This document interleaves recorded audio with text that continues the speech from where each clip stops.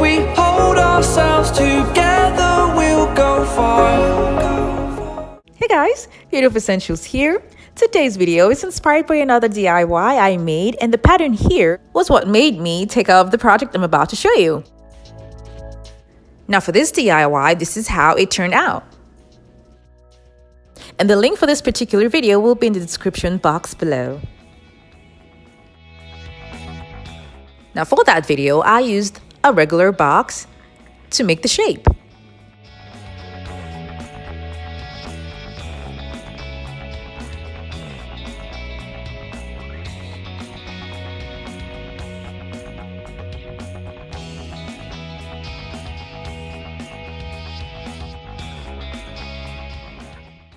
And then I did the same thing for this other DIY that I'm about to show you guys, but using a trifold board. Now I covered the whole thing with a poster board to make it smooth. If you're new to my channel, it's so great to have you here. Now don't forget to click on the subscribe button and that notification bell so you don't miss out on any of my latest videos.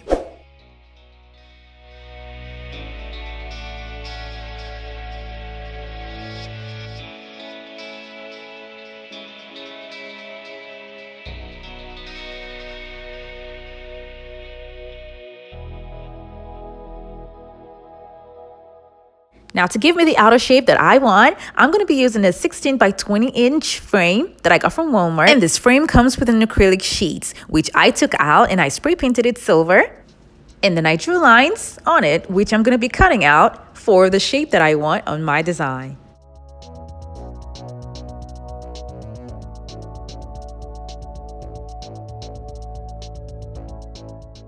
When I was done, I started gluing them on with 0.8 inches apart.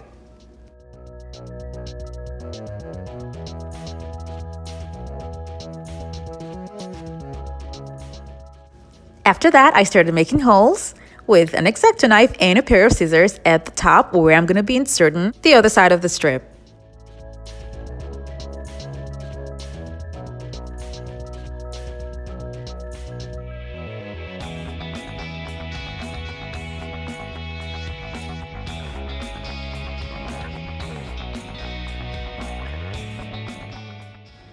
The glue did not hold the strip to the board tight enough so I'm going to be using thumbtacks to hold it together to the board.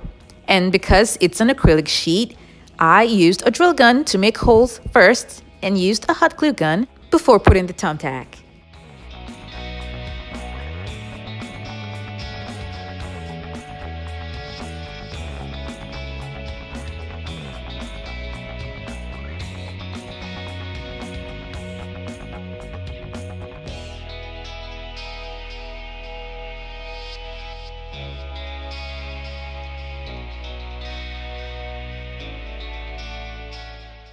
I had glued the points where all the thumbtacks were from the inside.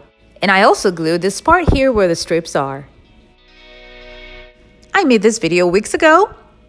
And because I wasn't sure that the method I was using was going to hold the strips together, I left it for about five weeks and you can see that it's falling apart. So I had to come up with a way to keep the strips in place. So I used zip ties. These are the thin sizes that I got from Walmart and as you can see, I made three holes this time around to hold the strips in place. And I'm making two holes per zip tie using a drill gun with a wider drill bit that will make it easy for me to put in the zip ties.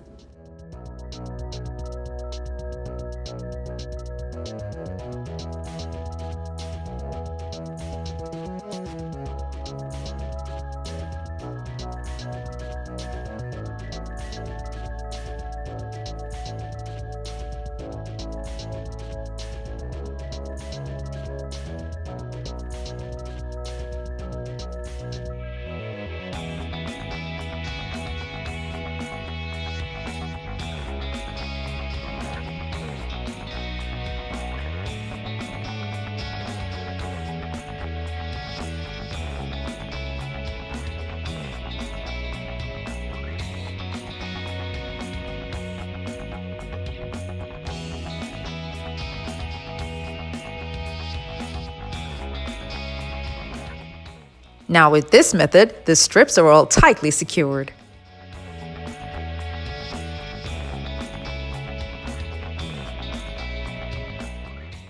As I was making this, the shape reminded me of a decor piece that I had at home, which I love so much. And because this has a lid, I'm going to be making a lid for this one as well.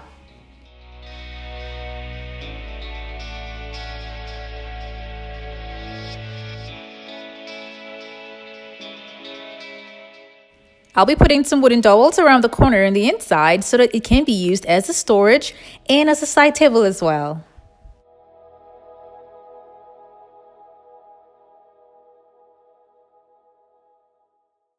I glued the dowels inside.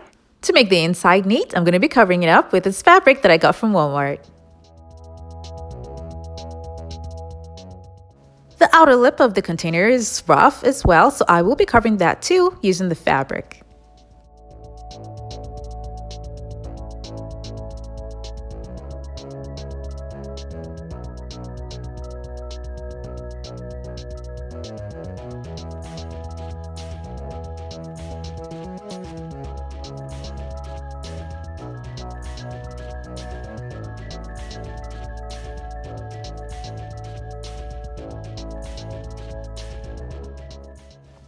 And then for the lid, I'll be using a cardboard to make it.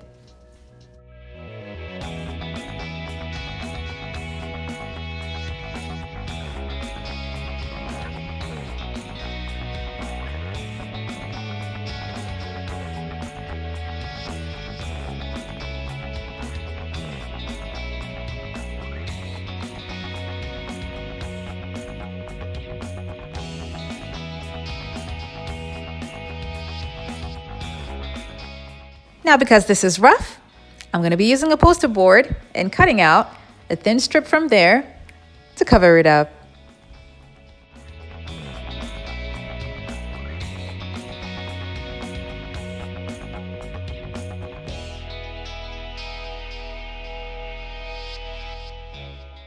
I kind of realized much later that the lid that I was making was too wide, so I needed to be thin, so I made a thinner one.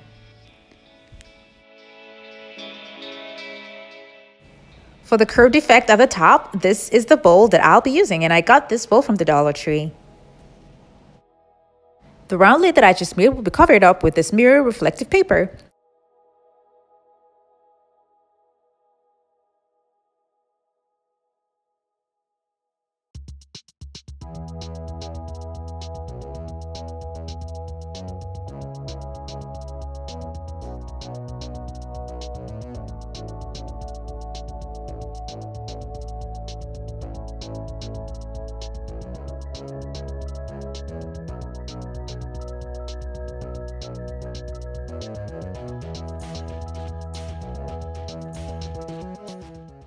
This is the bowl that I said I was going to use and I spray painted it with the Mirror Effect spray paint. And I did the spray painting from the inside to give me a mirror reflection on the outside. Now, I don't know what went wrong at this point here, but I'm just going to leave it the way it is because it's going to give it an interesting look in the end. Now, this outer part here that's rough, I'm going to be covering that up with gems.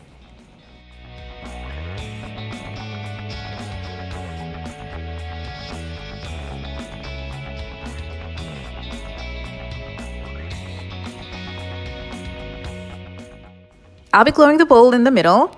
And I love the contrast that's going on here. And like I said, the spray painting was done on the inside. And the link for the spray paint is going to be in the description box below.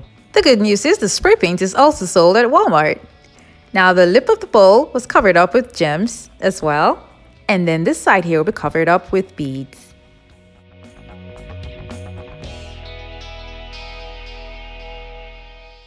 To give me the cone shape at the top, I'll be using this large Christmas ornament that I've had at home for a while, and I'll be cutting it to the size that I want and gluing it at the top. I forgot to show you guys that the zip ties were covered up with gems. I really love how this project turned out. And I have to say, the only part that took time in making this was putting in the zip ties at the bottom.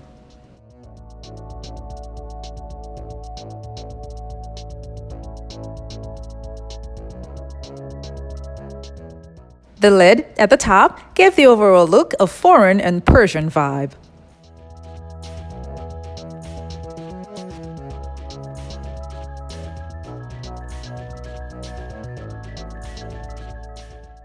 You can take up your lid in style because it's a storage.